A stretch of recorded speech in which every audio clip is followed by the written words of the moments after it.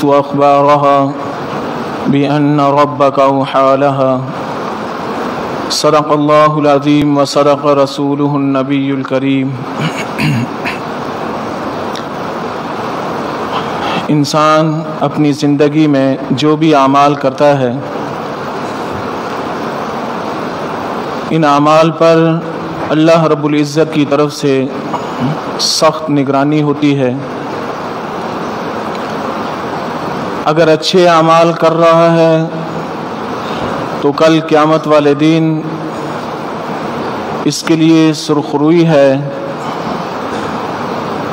और अगर ये बदआमालियों में लगा रहा और कल क़्यामत वाले दिन ये अपनी इन बदआमालियों से इनकार करना चाहे तो इनकार ना कर सकेगा। इसलिए कि रब ताला ने कल क़यामत वाले दिन इसके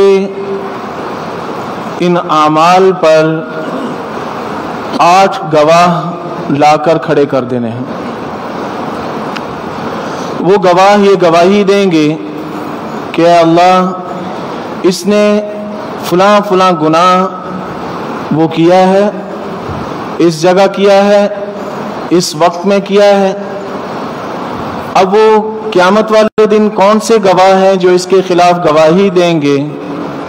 तो सबसे पहला जो गवाह है, वो अलमकान, ज़मीन। वो जगह जिस, जहाँ इंसान गुनाह करता है, वो कल क्यामत वाले दिन गवाही देगी कि बारी ताला इसने मेरे ऊपर ये फुला फुला गुनाह किया। यौम दिन तो हदिस अखबार वो कल क्यामत वाला दिन जो होगा, उस दिन ज़मीन से कहा जाएगा कि जो कुछ तेरे ऊपर इस शख्स ने किया, आज तू उसको बोल। आज गवाही दे। और ये गवाही वो खुद ना देगी। बेअन्ना रब्बा का वो हालहा। ये इस वजह से गवाही देगी कि आज तेरे रब ने उसको ये हुक्म दिया है। उसकी तरफ़ से ये वही आई है। ये हुक्म मिला है कि तू गवाही दे।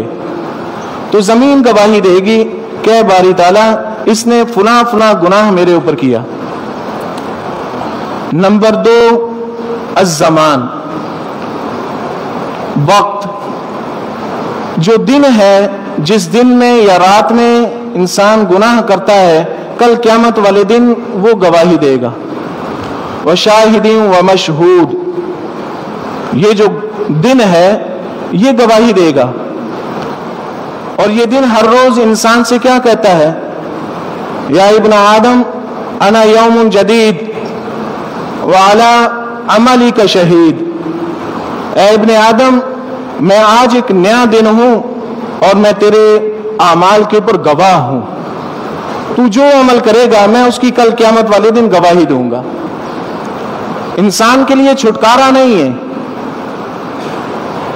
कि इंसान कहीं बच जाए जिस तरह एक सख्त सिक्योरिटी होती है और वहाँ पर बहुत सारे सीसीटीवी कैमरे लगे होते हैं, दूसरे पहरेदारी के इंतज़ाम होते हैं तो रब ताला के भी ये सब पहरेदार हैं जो इंसान के ऊपर निगरानी कर रहे हैं।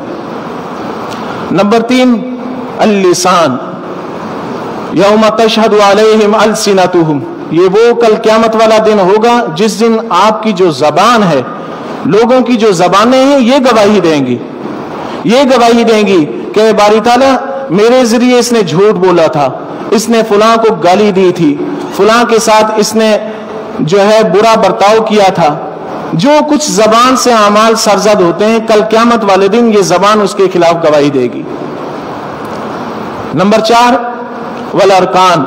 इंसान के जो आज़ा हैं, ये तमाम के तमाम आज़ा कल क्यामत वाले दिन गवाही देंगे।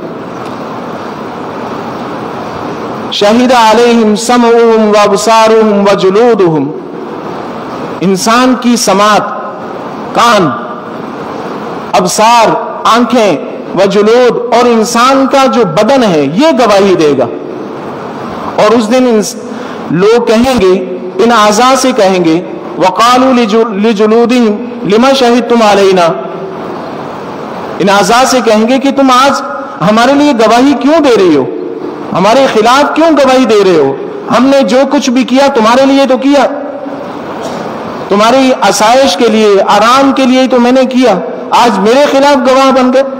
तो उस दिन ये आजा कहेंगे, पालू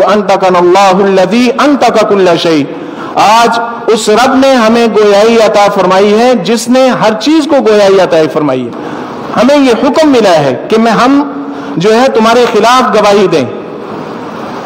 नंबर पाँच अदीवान रजिस्टर नामा अमाल रब ताला फरमाते हैं, इकरा किताबक, कफा बिनफसी कल यौमा का हसीबा। तू अपना नामा अमाल पढ़ ले। आज तेरे लिए तेरा नामा अमाल ही काफ़ी है। वबुजियल किताब फतर मुजरिमीन मुशफिकीन मिम्माफी वयकूलून या वैलतना माली हादल किताब, ला युगादिरु सगीरतन वला कबीरा इल्ला अहसाहा व वजदु मामिलु हाजिरा। जब ये नामा अमाल उसके सामने पेश किया जाएगा, जो मुजरिम लोग होंगे वो डरेंगे, डर रहे होंगे, उनका नामा अमाल जब उनके सामने पेश किया जाएगा। और कहेंगे, या वही लता अफसोस, ला युगादिरु सगीरतम वला कबीरा, इसने तो ना कोई छोटी बात छोड़ी, ना कोई बड़ी बात छोड़ी। इल्ला मगर उसको इसने दर्ज कर दिया। हर छोटी बड़ी बात इसके अंदर दर्ज हो जाती है, इनाम अमाल के अंदर। ये कल क्यामत वाले दिन इसके खिलाफ गवाही देंगे। तो इंसान का छुटकारा कहीं भी नहीं है। नंबर छह, वल मलाकान, किरामन कातिबीन या लमूना मातफालून ये फरिश्ते गवाही देंगे। बारी ताला, इसने हमसे, इसने फुला फुला मौके पर ये गुनाह किए हैं। और हम मौजूद थे उस वक्त, इसके साथ मौजूद थे। हम इसके गवाह हैं, इसने ये गुनाह किए हैं। तो इंसान जब किसी गुनाह की तरफ़ उसका कदम जा रहा हो तो वो ये सोचे कि मेरे ऊपर गवाह कौन कौन है? मेरा छुटकारा कहीं भी नहीं है। वो नबी और इंसी वल जान और साथ में गवाह। नबी अकरम सल्लल्लाहु अलैहि वसल्लम, जैसा कि हदीस में आता है कि बरोज जुमेरात और पीर को। हर हर इंसान के आमाल नबी अकरम सल्लल्लाहु अलैहि वसल्लम पर पेश होते हैं। रब तला फरमाते हैं, फ़कैफ़ इदा जीना मिन कुल्ली शहीद व जीना भी काला शहीदा। उस वक्त क्या होगा, जब हर उम्मत से एक गवाह ला खड़ा कर देंगे हम। और ए महबूब सल्लल्लाहु अलैहि वसल्लम उन सब पर हम आपको गवाह ला खड़ा करेंगे। मेरे दोस्तों, जब इंसान गुनाह की तरफ़ कदम उठाता है, ये देखे तो सही कि हमें जिस नबी जी का की आरज़ू है, तमन्ना है कि कल क्यामत वाले दिन वो हमारी सिफारिश करेंगे। हमारे पास और क्या है? एक शिफात है तो नबी अकरम सल्लल्लाहु अलैहि वसल्लम। कल क्यामत वाले दिन जब हमारे खिलाफ खुद नबी पाक सल्लल्लाहु अलैहि वसल्लम गवाह बन जाए कि बारी ताला, इसने फुला फुला गुनाह किए थे। ये उसका, इस फुला गुनाह की सजा का ये मुस्तक है तो हमारा क्या हाल होगा?